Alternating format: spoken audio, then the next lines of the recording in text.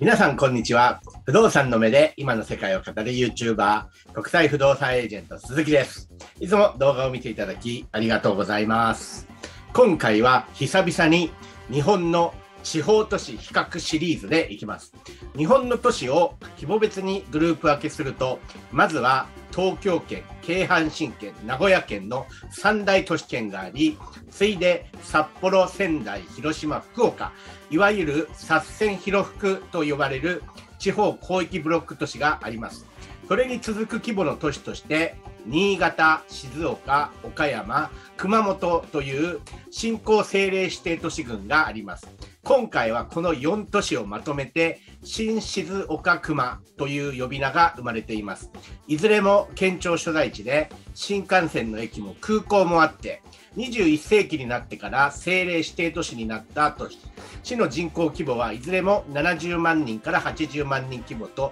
非常に似通っています。それぞれ名物の食べ物もありますね。新潟は米、静岡はお茶、岡山はマスカット、熊本は馬刺しが全国的に有名です。今回は新潟、静岡、岡山、熊本を比較してどこが一番都会なのかバトル形式でやってみたいと思います。なお、新静岡熊、それぞれの市は県の名前と一致しています。県単位で言うなら圧倒的に都会なのは静岡県でしょう。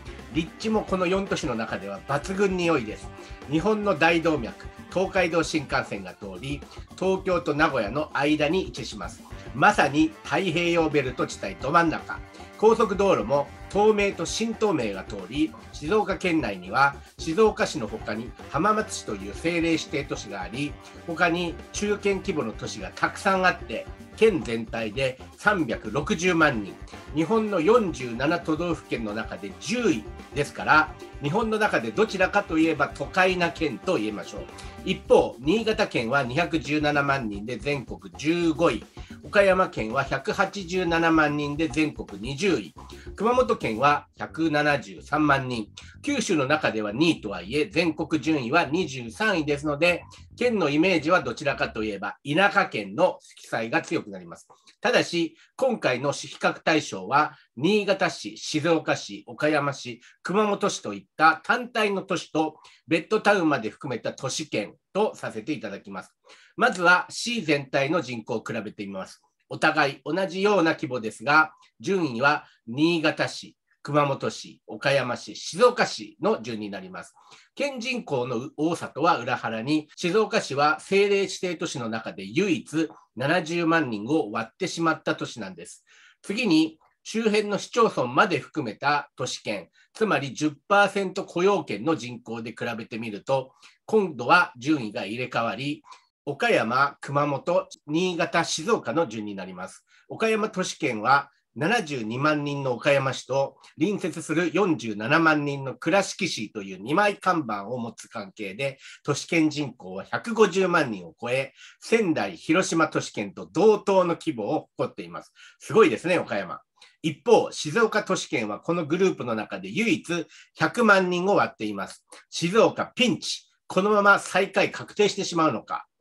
この辺で一つ皆様にお願いしたいことがあります。高評価とチャンネル登録をお願いいたします。Thank you! さらにデータで比較を進めますが、その前に俺の主観でどこが一番都会なのかを語ってみます。街並みの立派さでは新潟市が一番都会に見える。商店街の人通りでは熊本市の島通りアーケード街に軍配。都市の規模感では岡山市が一歩リードだと思います。では、再開リスクが高まっている静岡市はというと、そうですね。都市がコンパクトにまとまっている。歩いて楽しめるという意味では一番かな。北側に山や丘陵地帯が迫っている地形もあるのでしょうが、静岡は新幹線駅、静鉄の新静岡駅、呉服町の名店街、県庁、駿府城公園がすべて徒歩圏内にまとまっているので、中心地が一番住みやすそうなコンパクトシティだと思います。気候も多分、この4都市の中では一番過ごしやすいでしょう。静岡市街地の北方に南アルプスの山々が広がり、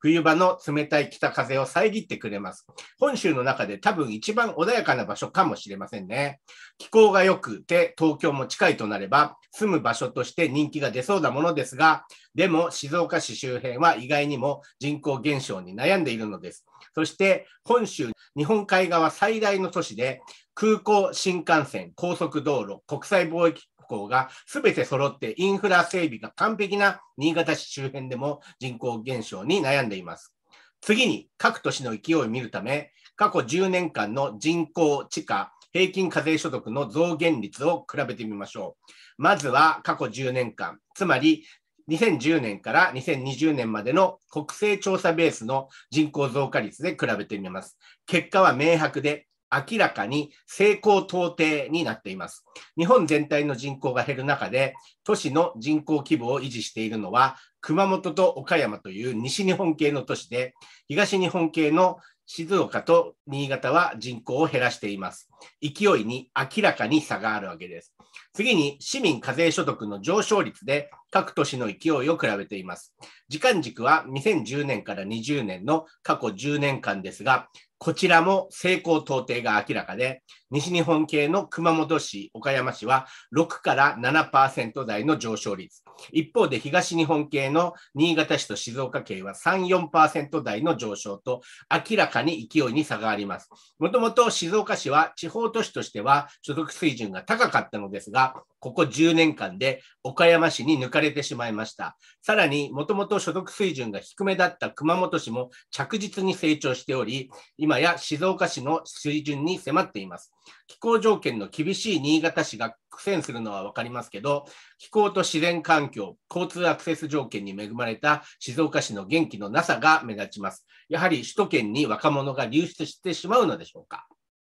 次に、都市経済活動を反映する土地需要のバロメーター、地価水準の推移を見てみます。時間軸は同じく2010年から20年の過去10年間で、基準地価と工事地価の平均で比べますが、これも成功到底が明らかで、特に熊本市の上昇、新潟市の下落傾向が明らかですね。静岡市も過去10年間で5%程度の下落。一方で岡山市は地価水準をおおむね維持できています。もともと静岡市は地価水準が高い都市だったのですが、今は躍進する熊本市が静岡市に迫ってきています。熊本市は2016年の大地震からの復興で市街地再開発が進む上に TSMC の巨大半導体工場ができたりと今時の地方都市には珍しく明るい話題が多いと感じます最後に毎回恒例都会アイテム対決をやります今回は70万、80万人規模の都市比較にふさわしいと思われる